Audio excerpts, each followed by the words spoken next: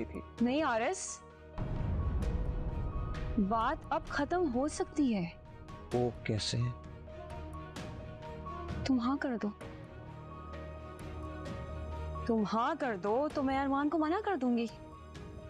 In fact next آنے والے episode میں آپ دیکھیں گے کہ یہ ٹینا اپنی حرکتوں سے باز آنے والی نہیں ہے۔ یہ حارث کو بہت زیادہ مینٹلی ٹارچر کرتی ہے۔ یہاں تک کہ ارمان کو اپنے محبت کے جانسے میں پھنسا کر اس کا پرپوزل بھی آ جاتا ہے کیونکہ وہ سب کچھ اس لیے کر رہی ہے کہ حارث کسی طرح کہہ دے کہ ٹینا وہ کسی اور کو تمہارے ساتھ برداشت نہیں کر سکتا۔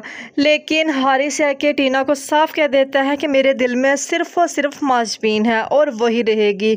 لیکن میں صرف تمہیں اس لیے منع کر رہا ہوں کیونکہ ارمان بالکل اچھا لڑکا نہیں ہے اور نہ ہی وہ تمہارے لیے پرفیکٹ ہے۔